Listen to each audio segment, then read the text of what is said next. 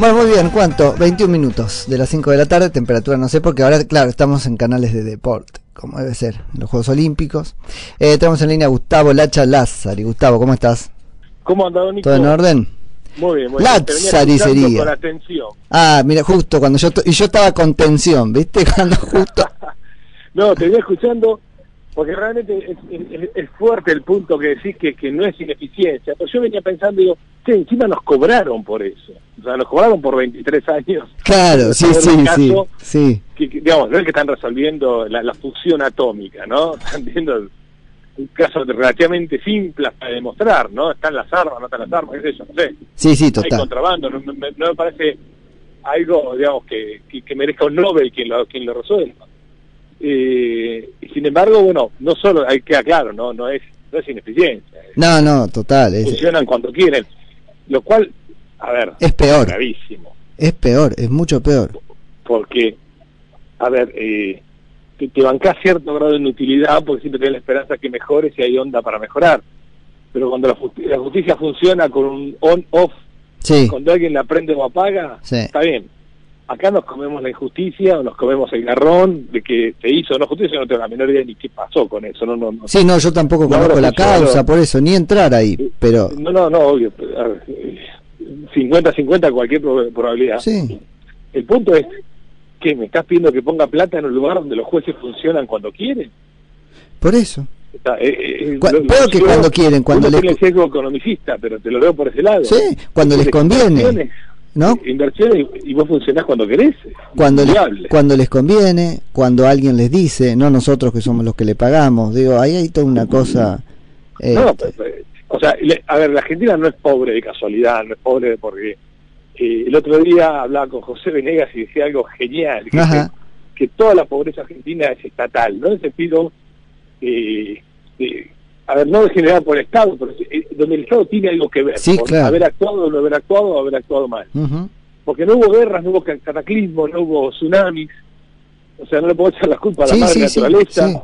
Vos decís un Estado que por lo menos no generó las condiciones, este, o peor aún te puso palos en la rueda. Claro, con lo cual, a ver, y, y, lo, que decimos, lo que decíamos eh, recién, no somos pobres de casualidad. O sea, El funcionamiento de la justicia, vos ves que Adam Smith dice que para que un Estado pase de la pobreza a la opulencia hacen falta tres cosas, ¿no? Impuestos bajos, paz y una razonable administración de justicia. Bueno, qué poquito el tipo dice en la riqueza de las naciones con cómo un país llega a la opulencia, ¿no? Sí.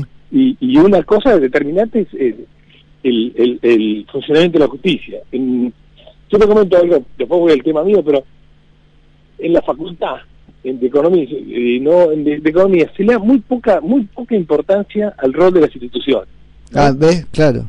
En realidad, para los economistas, la justicia y las instituciones son una letra que queda como una constante, ¿viste? Como que no se mueve en el tiempo, hasta como que es relativamente neutral, ¿no? Sí, sí, sí. Y, y es absolutamente, primero que no es es, una variable, no es una constante, porque las instituciones van mejorando en el tiempo o empeorando.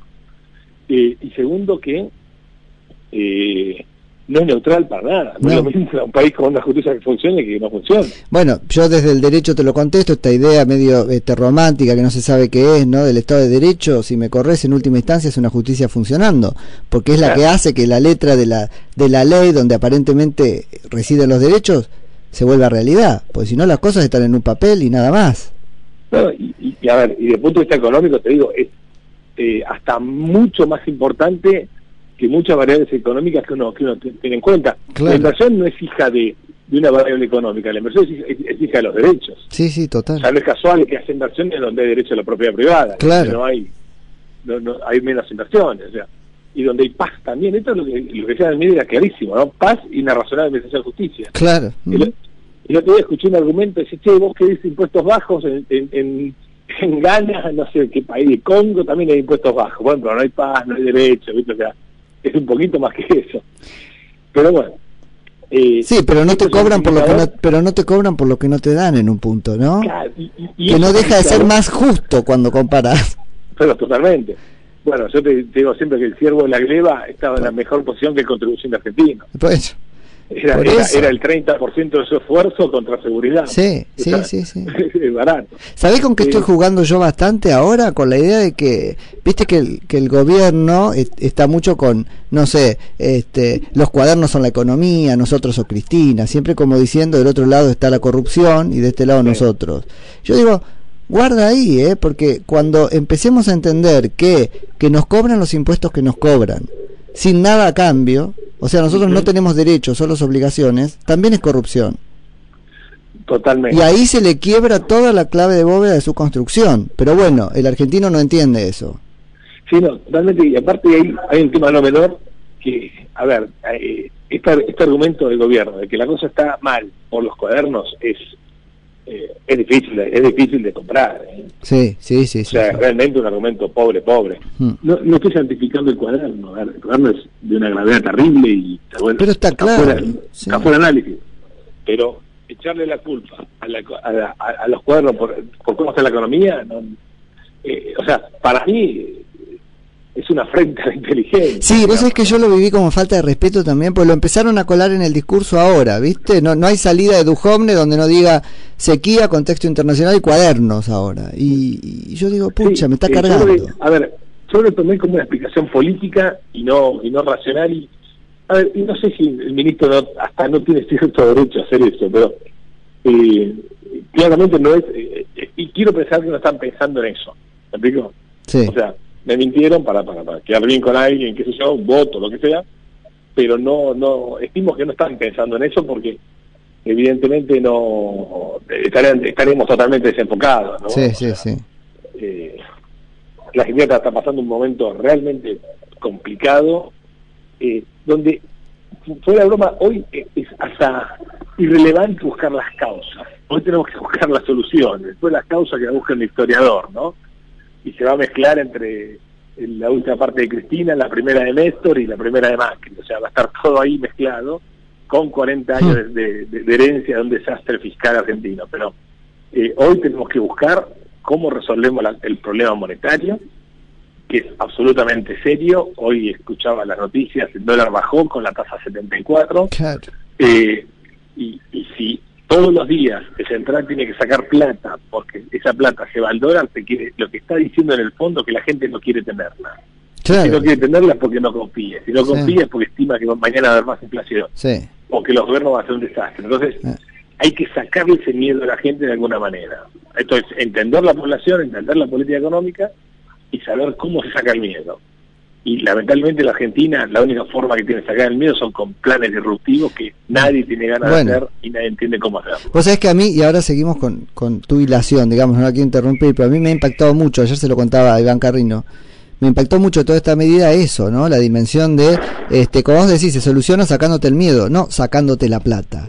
Entonces yo la puedo entender desde la teoría, me lo contaste vos antes, dedicamos casi todo el jueves pasado a eso, bárbaro. Si no hay plata, no, pero ¿por qué no, no tengo que tener plata? Si yo tendría que poder tenerla y comprar lo que quiero. No, por supuesto, aparte, eh, a ver, eh, una cosa es que el médico diga, bueno, vamos a bajar la fiebre con un paño frío en la, en la cabeza. Aunque está bien, es razonable, o con un baño, viste los chicos que lo bañan Sí, sí, sí. Está bien, ahora, no lo podés poner adentro de, un iceberg. Claro, y dejar ahí, como el pingüino. es claro. un nomás.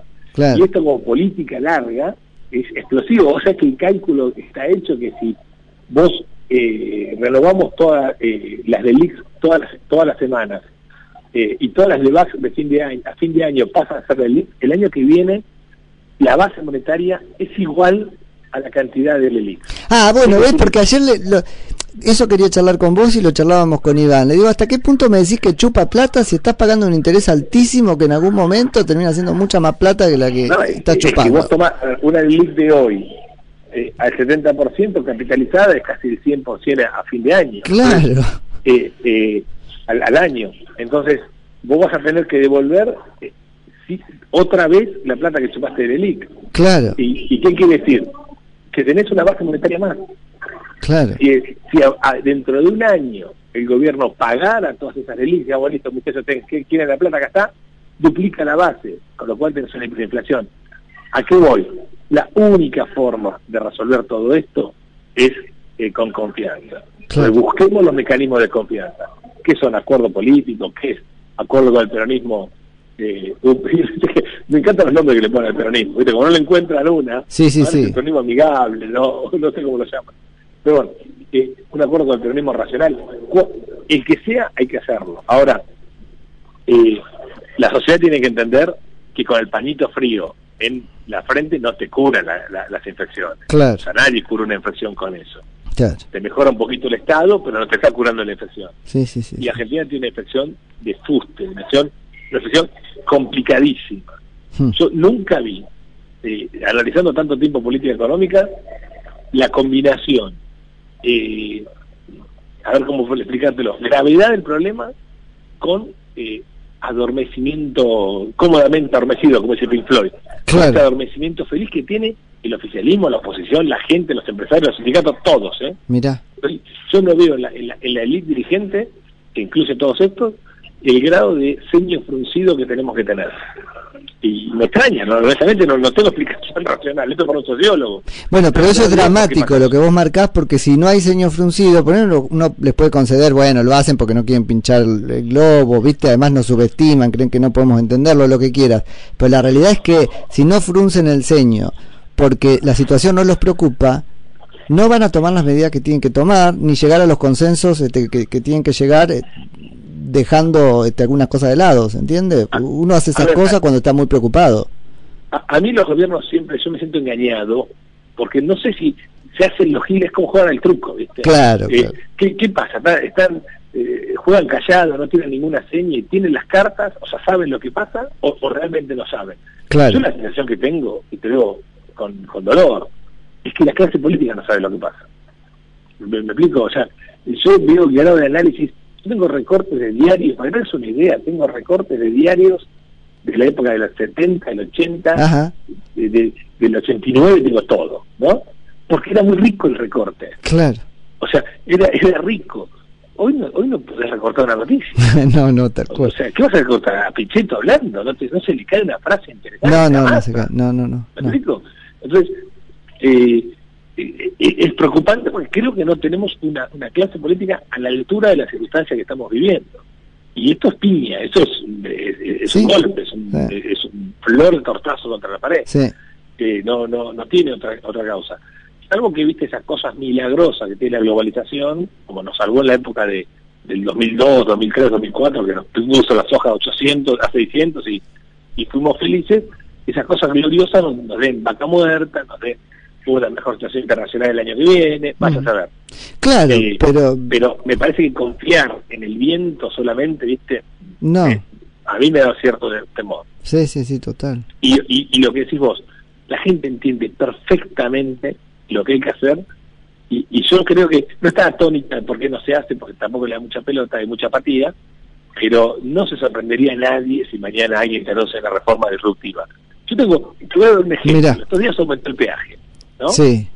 Eh, eh, hay un cartel en la autopista Ilía, que es eh, la, demostración de la inviabilidad de la Argentina. Te dice que el 50, no, el 46% de lo que se recauda en peajes va a obras de, de infraestructura. En la autopista o en otro lado, porque hacen escuelas. En otro lado, porque sí, Bausa lo vimos. como No importa, hacen algo.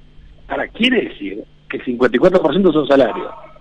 O sea que estás cobrando más por recaudar que lo que le queda. En, la riqueza de las naciones, Adam Smith decía, uno de los principios de tributación, no le saques al contribuyente eh, más de lo que se está dando. Es difícil entenderlo. O sea, si el Estado queda eh, 46, no le saques 100, saque 46. Claro. O sea, hace un mecanismo eficiente de recaudación. Sí, sí, y, y Adam Smith lo, hasta ejemplifica no lo jodan al contribuyente con inspecciones, con, requerimientos raros, porque al tipo le está generando un costo que es mejor que te lo den plata. Sí, sí. ¿Me explico? Entonces, eh, vos fíjate, ¿vos tenés que la gente no entiende que los mecanismos de recaudación del peaje son el, mantenimiento del poder de Moyano con su sindicato? Bueno. Que los peajes deben ser electrónicos y esa gente debe hacer otra actividad y Moyano se tiene que quedar sin poder en los peajes porque es un laburo de computadora, no, es un laburo de humano. parar el auto para que alguien te dé un, un vuelto en papel. Sí, sí, total. ¿Usted total. que lo entiende eso? Obvio que lo entiende. Hasta el mismo empleado lo entiende. Sí, sí, sí. sí, Entonces, sí, sí. eh, estamos subestimando a la población, creyendo que no pueden hacer, que no, que el ajuste que hay que hacer es muy difícil. Y, y, y te pongo otro otro ejemplo concreto. Esto es el ajuste difícil. Sí, total. O sea, Eh. hubiéramos hecho la reforma si íbamos a tener semejante costo social. Sí. Entonces, Ahora, eh, vos, vos estás- sos muy optimista con esto de que la sociedad entiende. Yo veo una sociedad medio quebrada y un estamento que entiende, eh, pero tan dóciles somos que gran parte de la base de sustentación del gobierno es la que está siendo esquilmada y el gobierno cree que vamos a votarlo igual porque no hay otra cosa. Asusando la idea de los cuadernos, Bueno, lo que quiera. eh, es, que Es está la tremendo. Yo creo que otra vez lo acepta el chantaje el gobierno. El, el- la, la sociedad. No acepta el Y chantaje, porque yo ho- hoy veo la- los esquemas, hablo por mí, ¿no? Pero veo más o menos lo que hay de candidaturas y digo, voy a, soy uno de los este chantajeados exitosamente. Eh, a ver. Me quejo acá, por suerte me puedo quejar acá todos los días, pero después no me queda otra que ir a votarlo. No sé, es que no sé, déjame, déjame dudarte todavía. Yo creo que la gente, cuando, no, yo no soy analista político, te deberías hablarlo con, con un Jacobe, qué sé yo. Sí, Pero yo tengo la sensación que la gente cuando vota descarta, no vota. pues seguro, ¿No? seguro. Entonces descartamos a los Pero le sigue siendo, le sigue siendo el mal menor. A los K, vamos a descartar a los Macri sin que vengan los K. Yo creo más en un, en un outsider esta elección. Ojalá, ojalá. eh, con honestidad, ¿viste? no sé qué, qué figura va a tomar el outsider, ¿no? Si, si, si va a ser eh, un periodista racional o otra cosa. Claro, pero ese no es outsider, no No, podría no, ser. Tinelli, por ejemplo. No. Pero no, no, no me sorprendería, honestamente, no, no, no es que lo votaría. Ni, Bueno, no, pero hay- ¿sabés qué pasa ahí, Gustavo? La mm, desde el, desde la desde el análisis político te tengo que decir, bueno, este zafamos de un chantaje y este retrocedimos ¿Y? y retrocedimos. Bueno, eh, no, es probable, es probable que sea peor. Ah, bueno, no, ok. No, no estoy diciendo que vota mejor. No, vota no, yo mejor. pensé que veías Pero- una posibilidad real, un tercero real. No, no, no, no, pero yo lo que, la sensación que tengo es que este gobierno está comprando todo para el descarte. Ah, sí, Salvo que sí. estén jugando con las cartas y dejaron pasar la primera mano, tiraron cuatro y ahora tienen la carta fuerte para de recuperación, pero yo no lo estoy viendo y Claro. los estoy viendo confundidos. Honestamente, Claro. me preocupa mucho eso. Sí, sí, Eh. Hasta el timbre, hoy lo escuché a Marcos Peña tartamudeando. O sea, Lo prefiero estamos cuatro años tartamudeando. más y no explicaba bien por qué. Sí, bueno, pero igual lo prefiero tartamudeando, ¿viste? Porque después tener todo ese tema de su No, soberbia, ver. qué sé yo, que es cargarnos a nosotros. Pero Eh, bueno. eh, Nico, a mí no, ni me lo tenés que decir, o sea, yo creo que kirchnerismo claramente fue lo peor de la historia y no es eh, no es eh, materia opinable de que fue una banda que vino a robar, fíjate, y, y va a venir con una... vamos, No, no, pero digo, lo, lo prefiero tartamudeando antes de venir este soberbio a contarme la que hace, todavía que lo estamos obteniendo, Ah, no, porque por no queda otra, ubicate, ¿viste? No, no, por supuesto, por A supuesto. eso iba. Pero bueno, a ver, en el medio de la tormenta el capitán no puede estar tan No, ah, no, alguna- no, claro, no, no, no. Alguna, alguna idea clara de, de a dónde va. ¿no? ¿Sabes a dónde quiero llegar con esto, este, Lacha? A que, bueno, vos traes una visión más optimista que la mía respecto de la sociedad y ojalá tengas razón. Entonces es la tesis de la ventana de Overton. Acá lo que hay que hacer es, este, aunque lleve más tiempo, la que va a cambiar antes es la sociedad. Y la que le va a cambiar los parámetros a la política, con los cuales hace política, es la sociedad. Sí, yo, yo creo que sí. Pero ver, para eso, eh, y, y, y la clave, si, si queremos que sea más o menos rápido, es lo que tenemos a mano, cansarnos con los impuestos. los que tenemos a mano, es cansarnos de los impuestos, que no estamos cansados del todo, no estamos políticamente cansados, ¿entiendes? no, pero a ver, eh, no, es verdad, no, no, no, no se está canalizando. No, estamos económicamente exhaustos, pero políticamente Eh, eh, no lo eh, cuestionamos. eh, a ver, eh, en, el año pasado, en 2017, hubo 250.000 embargos sobre 600.000 empresas embargadas. Mirá. Eh, es un tercio. Y este año, sin duda, es más. Eh, y, y yo creo que falta ahí el detonador y el, y el vehículo, pero en cualquier momento Bueno, eso hay que armarlo. yo veo, veo, veo, veo a las pymes marchando en la fila. ¿eh? Bueno. Yo no tengo dudas. Bueno, es que eso hay que... eh, porque el hartazgo es fortísimo y hay un momento donde, honestamente, yo el sector empresario lo estoy viendo con un riesgo de supervivencia muy importante. El único tipo, vos fíjate, yo tengo, salí corriendo a la fábrica y le dije a Agustina, tengo poco tiempo. sí, me dijo, me dijo, sí. eh, eh, porque estoy loco con, con, con temas de, de laburo. Claro. Y, a ver, proveedores, clientes, todos entendemos lo que pasa, ¿no? Y uno te banca, otro te putea, pero seguís trabajando. Es todo un desastre. dos, dos agentes no entienden nada. El banco, que encontró el mejor cliente posible, que es un cliente bobo que le paga 34% de tasa, total. le dice que lo va a licuar y le va a emitir todo para devolvérsela, no le mm. importa nada, mm. y el único que importa hoy para los bancos es el Estado, pues fíjate, una cosa no menor, para, y, el otro, y el otro que no entenderá que, que, que para el cual no cambia nada son las eh, agencias tributarias. Déjame decirte algo respecto a los bancos que me parece muy impresionante como hasta como concepto. Hoy el encaje es el 50%. Quiere decir que de cada depósito de 100, el banco retiene 50 y se lo da al Estado. Y el Estado le remunera vía el ELIX algo porque si no se mueve hambre. Okay. Así es. Eh, decime en qué actividad comercial de cualquier ramo del mundo, de cualquier cosa, vos le decís a un proveedor, che, guardate el 50%, no se lo vendas a tus clientes, eh, como es, eh, y vendeme, vendémelo a mí. Deja a tus clientes de toda la vida. Claro que no. Nadie te lo va a aceptar. No. La gente protege la clientela que tanto le costó. Al banco le importa a vosotros porque tiene el monopolio de la ah. actividad hiperregulada, no podés hacer una operación en el exterior, no te puedes endeudar con facilidad, ¿Me explico? Totalmente. ese costo de casa que, hizo el sistema bancario junto al Estado, yo digo que los bancos se contagiaron del Estado, estos son muy parecidos. Sí, sí, son estaditos. Sí. Claro, esos son mini estados, aparte eh, es increíble que un banco mire con más cariño una LEVAC que un proyecto de inversión. O sea, entiendo que el riesgo soberano, lo que sea, pero la LEVAC que el gobierno te está diciendo que la va a licuar. O sea, yo no, cuando digo al banco le digo, che, te voy a licuar. No, no, te la voy a devolver. Claro. Pero igual, eh, estos son los únicos dos agentes que no han eh, no, no están a la altura de la crisis que estamos viviendo. No. Y, la gente se va a hartar de los dos, eso, olvidate. Pero mucho más fundamentalmente las agencias tributarias que para Arba no cambió nada. Para Arba estamos en, en Suiza en su mejor momento expansivo, digamos, ¿no?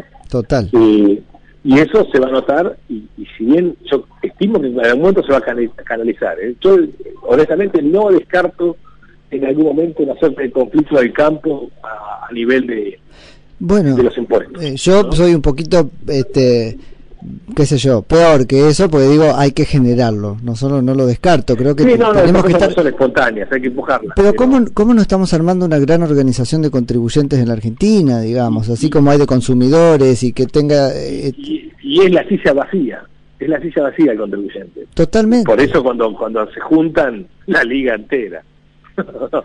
¿Me explico? Sí, sí, Cuando se juntan los gobernadores. Totalmente. De, 24 cerebros sale una neurona, que lo único que, que, resuelve es aumentar impuestos. Vos fíjate que hoy Morales propuso Te iba a decir. el impuesto de, de la retención de, de 4 a 8. Lo leí pensé en vos. O sea, a si me entendés. Sí. No, no, no entró en vigencia y ya se quedaron cortos. Sí, sí, una vergüenza. Sí yo creo que ya hay un tema de, hasta de dignidad de vergonzante, flaco. Si te quedaste corto, callate la boca, viste, bancate un año. Bueno, eh, a lo que voy es, 24 gobernadores, una neurona, un impuesto, eh, en esa mesa faltó el contribuyente. Totalmente. ¿no? Y, el contribuyente, bueno, por, por, por la teoría económica te enseña que es muy difícil que un grupo atomizado unifique posición y, tenga los costos de, de, de, asociación Vos sabés que yo, yo tengo otra postura, ¿eh? a mí me parece que ahí este, la hacha es un poco bien la, la del sindicalismo peronista, unidad en la acción. Después vemos qué piensa cada uno, pero en el bolsillo le duele a todos. Sí, sí, sí. unidad en la acción, como hacen con las marchas. Después cada cual vuelve a su sindicato, pelean entre Primero el movimiento. Claro, primer movimiento. Habría que ir, habría que ir algo, viste, desideologizado, digamos, viste, al menos en el discurso, y bueno, vamos todos, todos pagamos. Sí, Dios quiera, Dios quiera que algo de eso se arme para poner un poquito el freno eh, a este tipo de atropellos que, a ver, eh, si fuera solamente el tamaño de los impuestos, es el tamaño, la forma de recaudar, la recaudación, del trato, hay cientos de cosas que hacen que la presión tributaria sea insostenible, no solamente las facturas de impuestos, ¿no?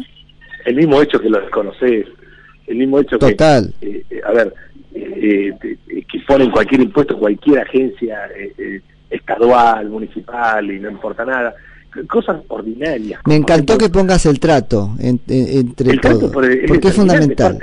totalmente, totalmente. te, digo algo, hay, hay, hay municipios que cobran, por ejemplo, una tasa que se llama seguridad e higiene, es muy extraño, porque seguridad, la palabra seguridad, la palabra higiene y la palabra municipio nunca puede estar juntas. No, no, claro, claro. Es una locura, ¿no? Sí, sí, sí. Pero que lo cobran en función de las ventas. ¿Me Sí, total. Es como que te dieran más seguridad y más higiene en función si vendes más o vendes menos. Sí, total. Y, y, la tasa como concepto es en función del costo de la prestación. Claro, como el costo de prestación es cero, porque dan cero, sí, no total, te pueden cero. Total. ¿Me explico? Porque lo usan para cualquier cosa. No somos ventosa, obvio. Este.